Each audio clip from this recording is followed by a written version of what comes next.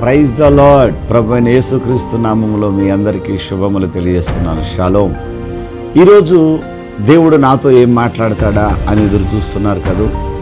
దేవుడు ఈరోజు మీకు ఇస్తున్న వాగ్దానాన్ని బహుశ్రద్ధగా ఆలకించండి.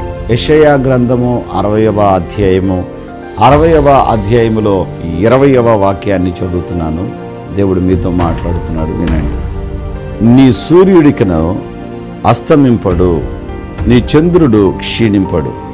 నీ సూర్యుడు ఇక అస్తమింపడు. ఆమె చెప్పండి గట్టిగా. నీ సూర్యుడు అస్తమింపడు అనే మాటకు అర్థం ఏంటంటే చీకటి రోజులు నీకు రావు. హల్లెలూయా. ఏ చీకటి అయితే ఇప్పటి వరకు అలుముకొని ఉన్నదో ఆ చీకటి అంతా తొలగిపోవడంతో పాటు ఇక చీకటి నీకు రాదు. జాగ్రత్తగా వినండి. నీ సూర్యుడు ఇక అస్తమింపడు. కారణం ఏమిటనంటే దేవుడే నీకు వెలుగుగా ఉంటాడు. దేవుడు నీకు వెలుగుగా ఉండాలని ఆశపడుతున్నావు కదూ? దేవుడు నీకు తోడుండాలని ఆశపడుతున్నావు కదూ? దేవా నువ్వు నాకు సహాయము చేయమని ఆశతో ఆయన వైపు చూస్తున్నావు కదూ? నా ప్రభు నీతో మాట్లాడుతున్నాడు. నా ప్రభు నీ వైపే చూసి మాట్లాడుతున్నాడు. ఏమిటనంటే ఇప్పటి వరకు నీవేదైతే శ్రమలో ఉండి నాకు ఈ శ్రమలన్నీ తొలగిపోయి నేను బాగుంటే నాకు ఈ పరిస్థితులన్నీ పోయి బాగుంటే బాగుండు కదా అని అనుకుంటున్నావు కదా అయితే దేవుడు నీతి ఏమంటున్నాడనంటే ఈరోజు నీ దుఃఖ దినములు సమాప్తం చేసేస్తాడు. హలలోయ అంతే తీసివేస్తాడు ఆయన అంతే అట్లా. నువ్వు దేనిని బట్టి దుఃఖపడుతున్నావో ఎందుకొరకు కన్నీరు విడుస్తున్నావో ఎందుకొరకు వేదన పడుతూ ఉన్నావో ఏ విషయమై కలవరంతో నింపబడిపోయి ఉన్నావో నీ కన్నీటిని నీ దుఃఖాన్ని చూసిన దేవుడు ఇక ఆ దుఃఖ దినములను సమాప్తము చేయబోతున్నాడు. హల్లెలూయా. ఇక దేవుడు యెహోవాయే నీకు నిత్యమైన వెలుగుగా ఉంటాడు. ఆమె నీకు ఆయన ఉంటే నీకు చీకటి ఉండదు ఇక. ఇప్పటి వరకు చీకట్లే కాదు. శ్రమల చీకట్లు కాదు. అంధకార చీకట్లు కాదు.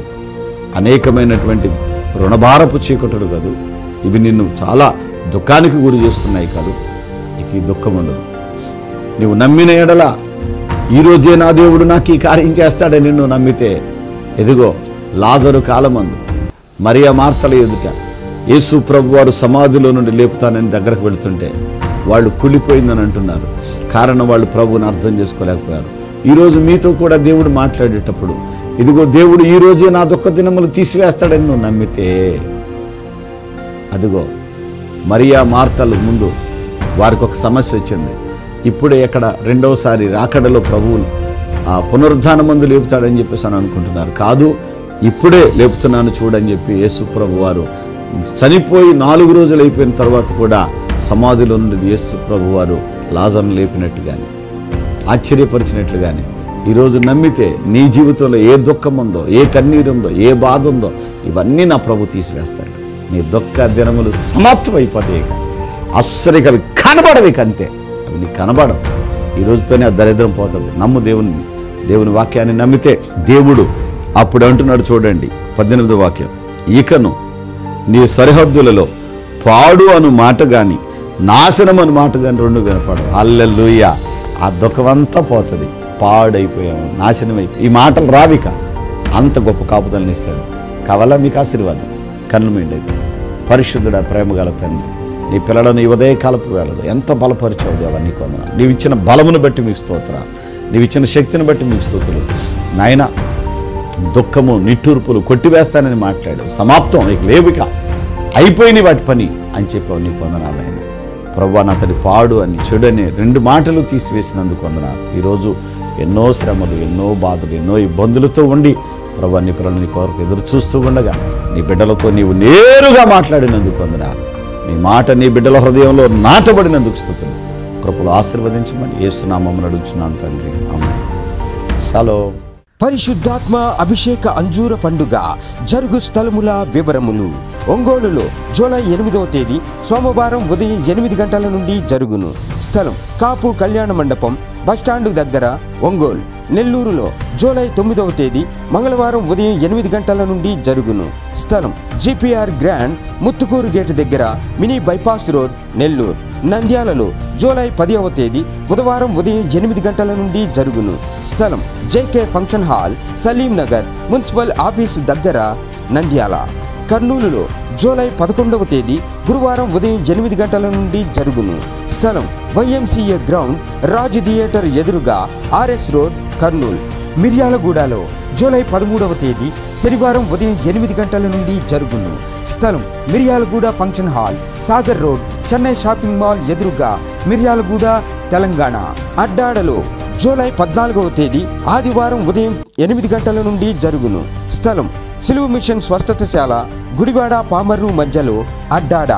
తాడేపల్లిగూడెంలో జూలై పదిహేనవ తేదీ సోమవారం ఉదయం ఎనిమిది గంటల నుండి జరుగును. స్థలం రేణుకా ఫంక్షన్ హాల్ కొండయ్య చెరువు రోడ్ ఫ్లైఓవర్ బ్రిడ్జి ఎదురుగా కడగట్ల తాడేపల్లి గూడెం. విశాఖపట్నంలో జూలై పదహారవ తేదీ మంగళవారం ఉదయం ఎనిమిది గంటల నుండి జరుగును. స్థలం సుబ్బలక్ష్మి కళ్యాణ మండపం శ్రీకన్య థియేటర్ ఎదురుగా railway new colony Subbalakshmi Nagar Visakhapatnam. కాకినాడలో జూలై పదిహేడవ తేదీ బుధవారం ఉదయం ఎనిమిది గంటల నుండి జరుగును. స్థలం కొండబాబు గారి కళ్యాణ మండపం ఎంఎస్ఎన్ చారిటీస్ ఎదురుగా జగన్నాథపురం కాకినాడ. పాలకొల్లులో జూలై పద్దెనిమిదవ తేదీ గురువారం ఉదయం ఎనిమిది గంటల నుండి జరుగును. స్థలం లయన్స్ కమ్యూనిటీ హాల్ బస్టాండ్ దగ్గర పాలకొల్లు పెరవలిలో జూలై పంతొమ్మిదవ తేదీ శుక్రవారం ఉదయం ఎనిమిది గంటల నుండి జరుగును. స్థలం కర్మేలు ప్రార్థనా మందిరం గవళ్ళపాలెం ముక్కాముల రోడ్ పెరవలి మండలం తూర్పు గోదావరి జిల్లా మాచర్లలో జూలై ఇరవైవ తేదీ శనివారం ఉదయం ఎనిమిది గంటల నుండి జరుగును. స్థలం మానుకొండ కళ్యాణ మండపం మున్సిపల్ ఆఫీసు వద్ద మాచర్ల. గుంటూరులో జూలై ఇరవై ఒకటవ తేదీ ఆదివారం మధ్యాహ్నం మూడు గంటల నుండి జరుగును. స్థలం LEM high school ground lodge centre Guntur. అనంతపురంలో జూలై ఇరవై రెండవ తేదీ సోమవారం ఉదయం ఎనిమిది గంటల నుండి జరుగును. స్థలం Shri Padmavathi function hall Ramana Ramesh theatres old town Anantapuram. డోన్లో July ఇరవై నాలుగవ తేదీ బుధవారం ఉదయం ఎనిమిది గంటల నుండి జరుగును. స్థలం లక్ష్మీ ఫంక్షన్ హాల్ కొత్త బస్టాండ్ ఎదురుగా డోన్. పెద్ద డోర్నాలలో జూలై ఇరవై ఐదవ తేదీ గురువారం ఉదయం ఎనిమిది గంటల నుండి జరుగును. స్థలం కల్వరి స్వస్థతశాల పోస్ట్ ఆఫీస్ వెనుక కర్నూలు రోడ్ పెద్ద డోర్నాల. వినుకొండలో జూలై ఇరవై ఏడవ తేదీ శనివారం ఉదయం ఎనిమిది గంటల నుండి జరుగును. స్థలం గంగినేని గార్డెన్స్ నరసరావుపేట రోడ్ పల్నాడు జిల్లా వినుకొండ. నా పేరు మౌనిక నేను గుంటూరు నుంచి వచ్చాను. నాకు పెళ్ళి పద్నాలుగు సంవత్సరాలు అవుతుంది పిల్లలు లేరు. నేను క్రీసురాయపారి అయ్యగారి దగ్గరికి వచ్చి నాకు పిల్లలు లేరని చెప్పడంతో నాకు అంజూరుపల్లి ఇచ్చారు ప్రార్థన చేసి ఇచ్చారు. అవి ఇచ్చిన తర్వాత నాకు ఈ పద్నాలుగు సంవత్సరాల తర్వాత పాప పుట్టింది.